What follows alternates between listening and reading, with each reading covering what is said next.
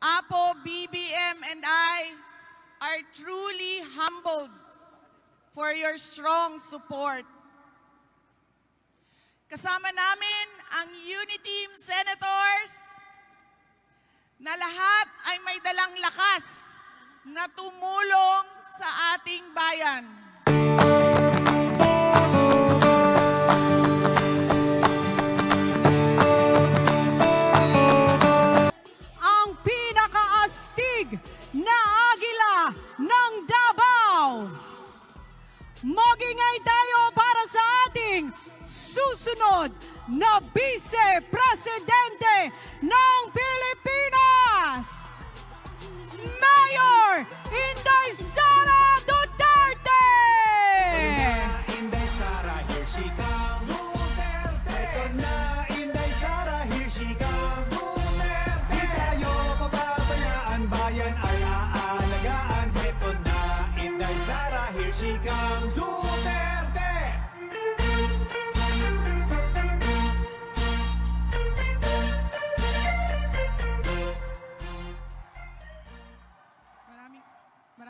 Salamat.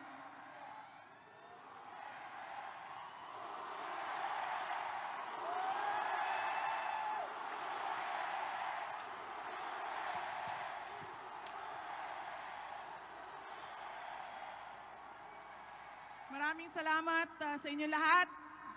Maaari na po kayong maupo. Welcome po sa aking concert. Limang kanta po ang hinanda ko para sa inyong lahat. Magiging masaya ang gabi natin. Assalamualaikum, madayaw ug maayong gabi. Magandang gabi sa inyong lahat.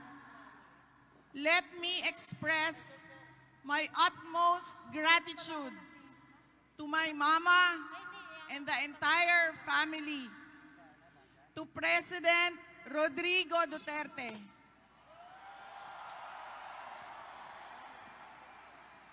Thank you for showing us the way.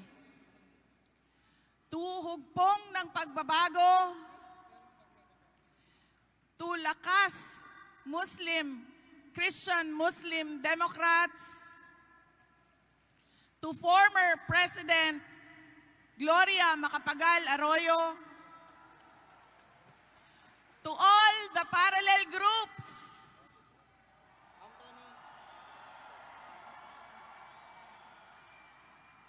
And to my backroom staff support, daghan kayong salamat sa inyong tanan.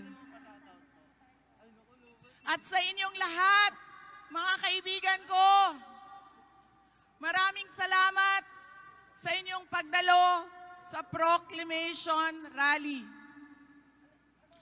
Sa kabila ng mahigpit na health protocols, nagpunta kayo at nagpakita ng suporta sa Bongbong Marcos Sara Duterte Unity Team.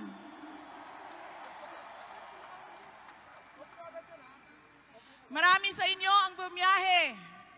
Galing Northern Luzon, galing Visayas, galing Mindanao.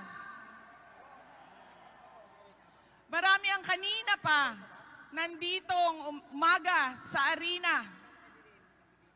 Apo, BBM, and I are truly humbled for your strong support. Kasama namin ang Uniteam Senators na lahat ay may dalang lakas na tumulong sa ating bayan. Sherwin Gatchalian, Mark Villar, Gibo Teodoro, Herbert Bautista, Jinggoy Estrada, Loren Legarda, Harry Roque, Dante Marcoleta, Migs Zubiri, Gringo Hunasan, and Larry Gadon.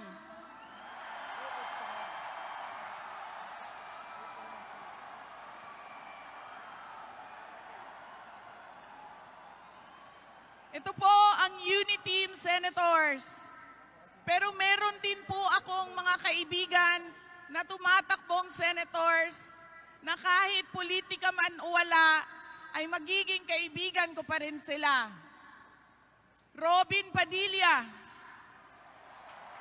Sal Panelo, Cheese Escudero, Guillermo Eliazar, Jojo Binay, JV Ejercito, and Joel Villanueva.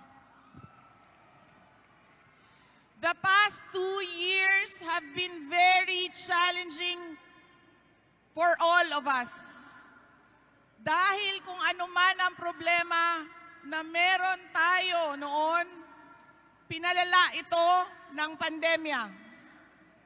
Pero nandito pa rin tayo, buo, buhay, at patuloy na lumalaban sa hamon.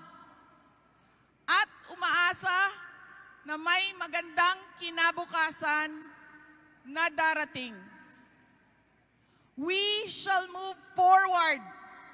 We will live with COVID and we will bounce back like never before. We offer you a tandem endowed with wisdom and experience. Palagi akong tinatanong, bakit si BBM? Dahil naniniwala ako sa kakayahan niya na mamuno bilang Pangulo.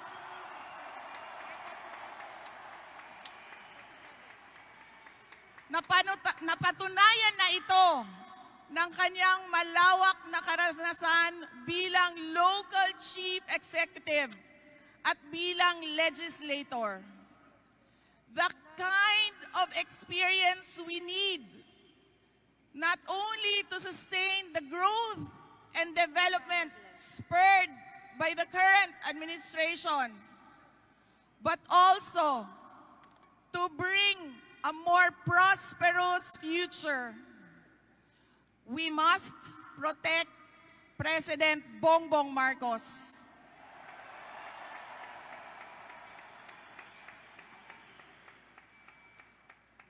Dala ko ang experience sa pamumuno.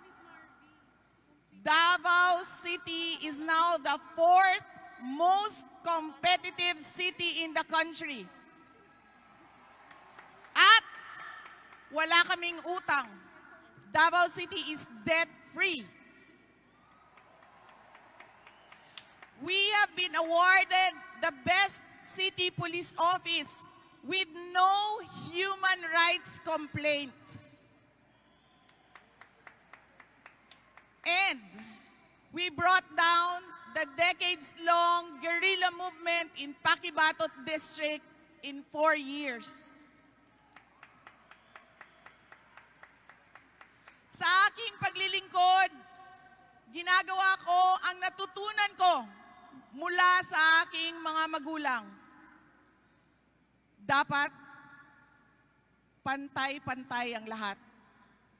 Walang mayaman, walang mahirap, walang babae, walang lalaki, walang bata, walang matanda.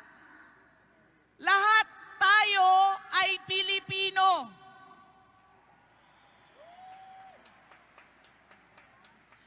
Mas madaling magkaisa kung lahat tayo ay pantay-pantay ang pagtingin at pagtrato sa isa't isa.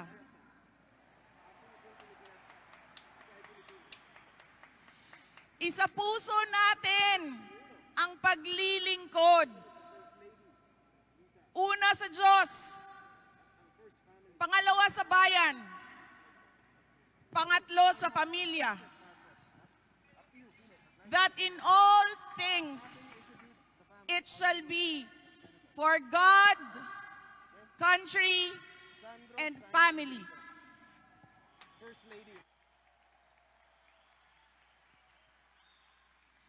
Sa mahalin natin ang Pilipinas Ride, nakarating kami sa iba't ibang lugar at komunidad sa Pilipinas. Kasama na dito ang mga lugar na tinamaan ng Bagyong Odette. Nakita namin firsthand ang hirap ng pinagdaanan ng ating mga kababayan. Despite the overwhelming support of our government and the private sector. Pero walay mo pildi sa Pilipino. Parang pagmumotor sa Pilipinas, sa buong Pilipinas. Lisod. Pero we can do better. Government can do better. We shall stand tall, united, and resilient. Ang gusto nating lahat, trabaho at hanap buhay para sa karamihan. Kalidad na edukasyon para sa mga kabataan. At mapayapang pamumuhay. Tatlo lang. Pero hindi ito madali. At hindi po tayo susuko. Magpupursigi po tayo. Dahil mahal natin ang Pilipinas.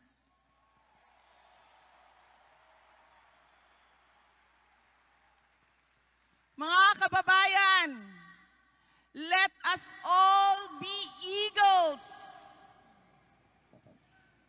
We shall fly, soar, fight, and win.